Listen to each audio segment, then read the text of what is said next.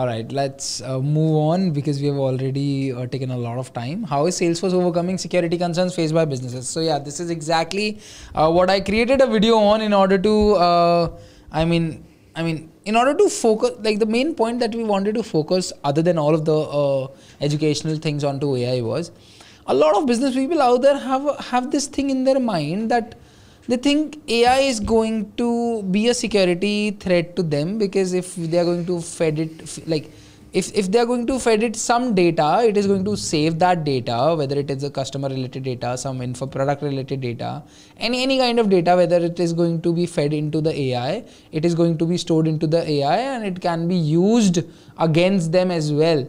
And they are scared about this. So this is something that we really want to uh, focus on uh, especially when considering the Einstein GPT or the AI cloud of Salesforce. Uh, let's take, take, take the help of uh, first let's understand that how Salesforce has tackled this particular thing. With Salesforce, of course, Salesforce is using OpenAI capa- OpenAI's capabilities only, right? Uh, it has it has got its own things, a lot of things as well, but it's still using OpenAI's capabilities. As of now, in future they plan to expand it to different different LLMs, Google and uh, AWS as well. As of now, they're using OpenAI. They are using OpenAI, and uh, how they are planning to uh, tackle this security concern amongst their customers is. Uh, with the help of a GPT trust layer that they have created on their own, uh, which is going to help the customers uh, secure their data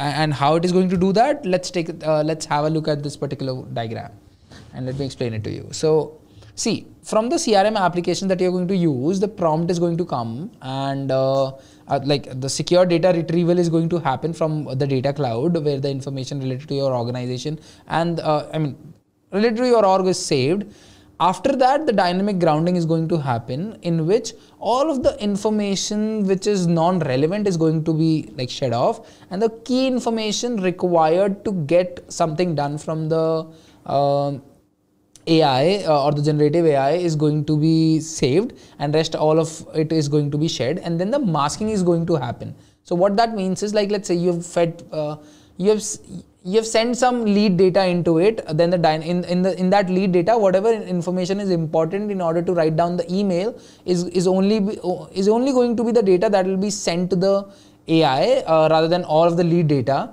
And uh, that too is going to get changed in the data masking layer right? Where if the name of the uh, lead is john then it will be converted into david. And then it will be sent to the uh, ai to generate some content around it for the email and uh, through a secure gateway of course and they have this uh, with the OpenAI as well that the, no data will be saved with OpenAI.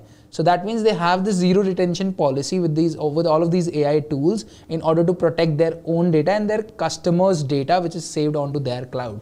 So without it, without it, this was not possible, and hence you can be rest assured that your data is not uh, getting exposed. shared uh, with, with external exposed. applications or exposed with different different AIs.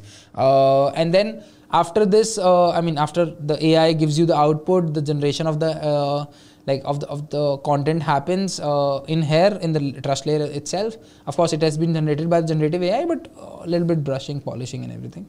Then comes toxicity det uh, detection, which basically identifies that whether it has generated data which is non-toxic or toxic. When we say toxic, it is just that it's not an absurd or a weird data that it has generated or a weird content that it has generated. That's all what gets uh, taken care of in this part. And then comes the audit trail. Each log gets maintained for all of the AI uh, transactions that you are happening.